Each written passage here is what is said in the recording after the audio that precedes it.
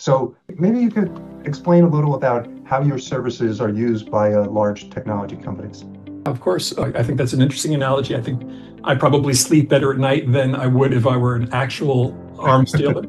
but so, you know, the context, if, if you're thinking about what do we do for the large companies, large tech companies, um, you know, the large tech companies are competing among themselves to build the best performing generative AI models. So you can think of ChatGPT and Claude and Gemini and Llama and, and, and all of these.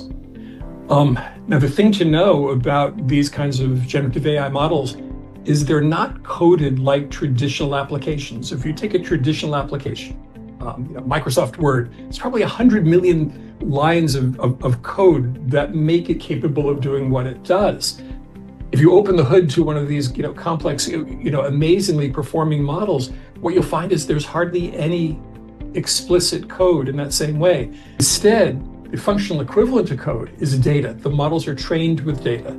They're pre-trained with data that's collected, and then there's there's something called supervised fine-tuning data, which includes um, demonstration data, reward modeling data, reinforcement learning data.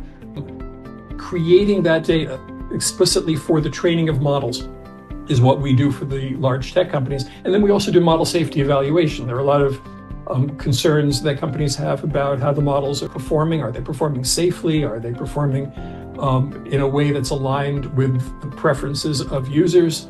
Um, and we help um, conduct those formal benchmarking and evaluations as well.